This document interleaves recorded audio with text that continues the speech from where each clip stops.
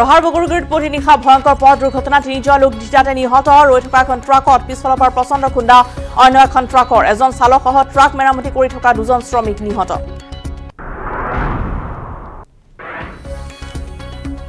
বিজেপিৰ সংসদীয় বৰ্ড আৰু নিৰ্বাচনী সমিতিত অন্তৰ্ভুক্ত হোৱাৰ পিছত প্ৰথমবাৰৰ বাবে অসমলৈ আহিব কেন্দ্ৰীয় মন্ত্ৰী সৰ্বানন্দ সোণোৱাল। বৰঝাৰত দলীয় কৰ্মীয়ে উষ্ম আদৰণি জনাব সোণোৱালক। কেইবাটাও কাৰ্যসূচীত অংশ ল'ব কেন্দ্ৰীয় মন্ত্ৰীগৰাকী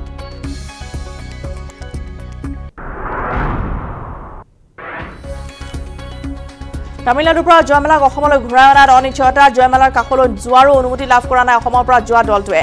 তামিলনাডুৰ মুখ্যমন্ত্ৰীৰ বাহিৰত থকাৰ অজুহাতত সহযোগ কৰা নাই তামিলনাডু চৰকাৰে দলটোক চেন্নাইতে থকাৰ নিৰ্দেশ মুখ্যমন্ত্ৰী ডক্টৰ শৰ্মা